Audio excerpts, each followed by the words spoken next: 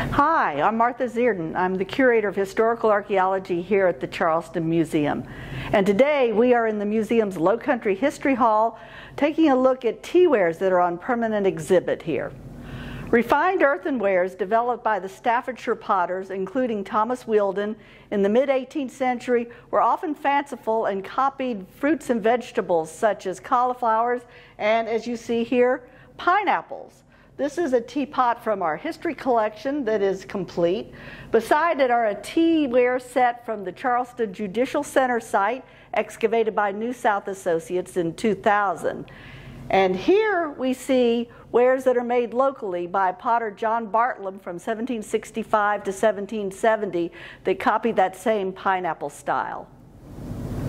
Our largest and most diverse archaeological collection comes from our own Heyward Washington House.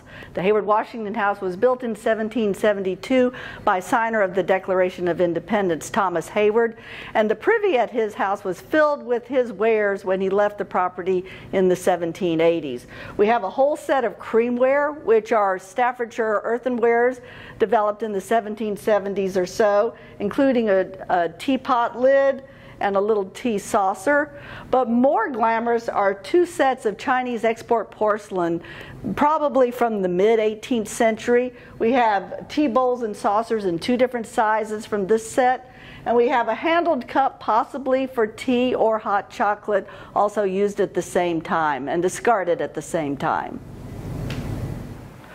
We are now behind the scenes in the offices of the Charleston Museum, and I've pulled a selection of teawares from our collection storage that highlight just sort of the pervasive range of materials we find on archaeological sites in Charleston.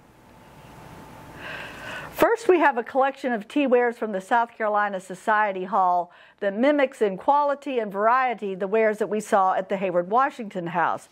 This is an Elers ware teapot base, a stoneware from the mid 18th century. This is a wonderful sprigged creamware teapot fragment with a rope handle. These are Chinese export porcelain teawares decorated in blue underglaze and red overglaze. And rarest of all is this Chinese teapot, direct from China, the only one found in, in the North American colonies. By the last quarter of the 18th century, Charleston fills with teawares designed for a rising middle class. They were more affordable, um, they were more durable, and we see them in very large numbers. This collection comes from the Charleston Place site. These are hand painted pearl pearlwares developed after 1780. This blue teapot, of course, mimics the Chinese style decoration. And all of these little floral patterns are created in sort of a uh, infinite variety of patterns. Sometimes they're match sets like these two saucers and this and this cup. Sometimes they're just sort of mix and match in some nice earth tone colors. Um, we see here our little pineapple design on occasional pieces, and we see nice floral patterns. Here we have more of our Whieldon type wares from our collection storage. From the Exchange building, we have this beautiful green and yellow striped ware. And from the Bartlam site, an identical piece in the same pattern. Um, from Charleston Judicial Center, we have some delicate little teawares, this tiny teacup, a very delicate little teapot lid. Um, here are more of our pineapple style wares from the Bartlam site and from the Powder magazine a pineapple style tea bowl that was reconstructed from a pit excavated in the yard. Why is this tea bowl at the Powder magazine? We're not really sure, but it does seem that people were living there as well as working there. This is another group of the hand painted pearlware tea wares, and if they look smaller than the last set, they are.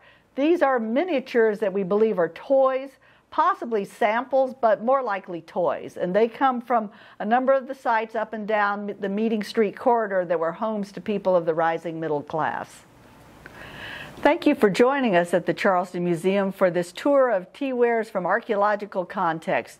Please visit the museum and its galleries to see more of our amazing collection of artifacts.